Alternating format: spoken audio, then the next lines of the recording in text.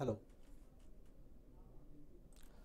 My dear friends स्वागत है आप सभी का। स्टूडेंट्स अगर आप आई आई के लिए प्रिपेयर कर रहे हो तो बहुत इंपॉर्टेंट है सभी सिलेबस में एनालिसिस करके प्रिपरेशन आपका स्टार्ट करें।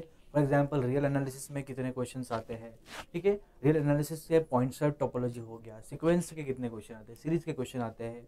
तो हर एक ईयर वाइज जब ऑब्ज़र्व करते हो एनालाइज करते हो तो आपको पता होता है कि मुझे कितना समय देना चाहिए किसी टॉपिक को, ठीक है?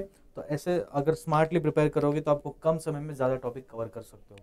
तो चलिए आज जानते हैं रियल एनालिसिस के पेपर एनालिसिस के बारे में। तो आप देख सकते हो मैंने 10 साल का लास्ट 10 साल का डेटा लेकर आया हूँ, जिसमें सब टॉपिक वाइज हमने कैटेगराइज किया है, कौन से टॉपिक से कितने क्वेश्चन आ रहे हैं। अभी रिसेंट एग्ज़ाम की बात करें तो पॉइंट्स टोपोलॉजी से क्वेश्चन नहीं था एक भी।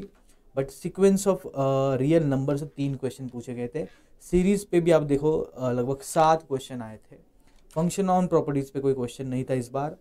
और लिमिट कॉन्टिन्यूटी पे सात क्वेश्चन थे। डिफरेंशियबिलिटी पे तीन थे। सिक्वेंशन सीरीज़ ऑफ़ फ़ंक्शंस पे एक भी क्वेश्चन नहीं था। फ़ंक्शन ऑफ़ सेवरल वेरिएबल पे तीन क्वेश्चन थे। अगर मैं उसी सब टॉपिक के लास्ट ईयर की बात करूँ तो लास्ट ईयर में भी पॉइंट्स ऑफ़ टोपोलॉजी से कोई क्वेश्चन नहीं आ रहे तीन साल से। बट देखिए आप सीक्वेंस पे चार क्वेश्चन थे सीरीज़ पे तीन क्वेश्चन थे, उसके बाद फ़ंक्शन ऑन दर प्रॉपर्टीज़ पे आठ क्वेश्चन थे। लास्ट टाइम आठ क्वेश्चन थे, इस बार एक भी नहीं था। ठीक है?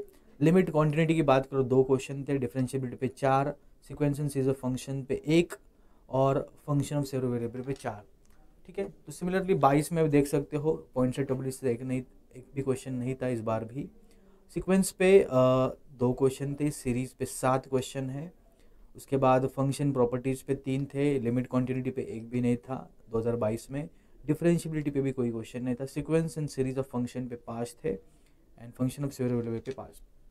तो इस तरह बाकी साल में भी आप देख सकते हो एनालिसिस करके। तो आपको एक ऑन एन एवरेज आइडिया आ जाएगा कितने क्वेश्चन आ रहे हैं हमारे रियल से। तो अगर आप बात करो 2024 की, सिर्फ़ सात और तीन दस हो गए, ये सत्रह, और ये तीन हमारे कितने हो गए, बीस, तेईस क्वेश्चन आए थे।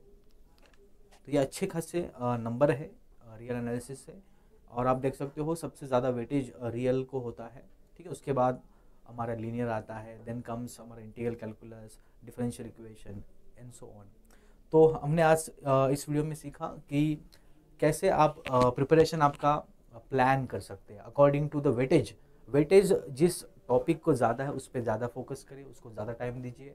जिन टॉपिक से कम क्वेश्चन आ रहे हैं उनको कम टाइम दीजिए। इससे आपको होगा क्या? जो इंपॉर्टेंट टॉपिक है, उन पर आपका ज़्यादा कमांड होगा, ठीक है?